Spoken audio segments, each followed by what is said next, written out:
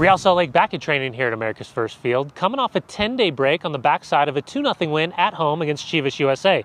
Next up, a rematch in the Western Conference semifinals as they face the LA Galaxy. It was important that we played a full 90 minutes. You know, uh, didn't allow them any counterattacks. I'm not sure. I, I don't think Nikki had uh, was very busy at all that game, which is important. So we were able to establish offensive rhythm uh, and still keep them uh, off the score sheet. We know once you get into the playoffs, uh, goals are crucial and completely change games, especially with you know a two-leg system, uh, two-leg setup, and so obviously that was the big talking point up you know up in Portland, and then we came home. Uh, it was still a huge talking point for us as well because road goals, uh, you know, have a huge weight on the series. Uh, and so for us, hopefully we can carry that into the playoffs uh, and, and, and remain, you know, steady on defense. Our mentality's right uh, heading into the playoffs.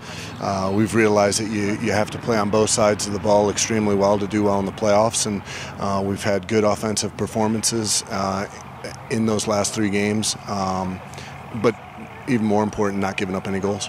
The LA Galaxy coming off a 2 0 loss at home on the final day of Major League Soccer regular season play on the road at the Seattle Sounders. But the LA Galaxy finishing just three points out of first place in the Western Conference, and they lock down that second place spot, and they'll start on the road at Real Salt Lake. I'm not necessarily sure that there's a, a, huge benefit because, you know, obviously you have to come out and take care of the business. Uh, and so you have to get on the front foot and try to get three points. Uh, but you know, in saying that, uh, nothing's. It's it's basically just a half and half. so I, I, think we've played both sides of this many times, where we've been home first or away first.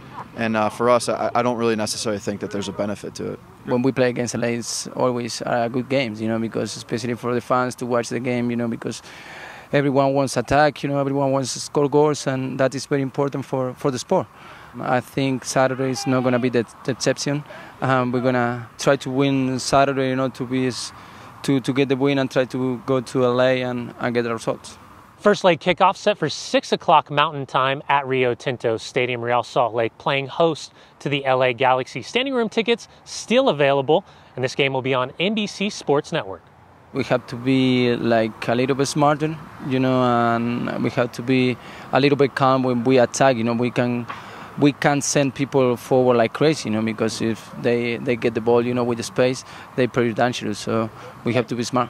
You have to be aware of uh, where they're dangerous. You know, if you can deny service into their players, uh, that's extremely important. Deny them time and space on the ball so they so they don't have time to be creative, or punish you with a final ball, and make sure that our team shape uh, as we're attacking is good they're certainly going to create chances. You know, how clean and clear those chances are remains to be seen. And so for us, I feel like as a group, uh, you know, how often can we limit them in and around the final third making those plays? Uh, sometimes when special players are in and out of games for longer periods of time, uh, they're not as clean when they're in the final third.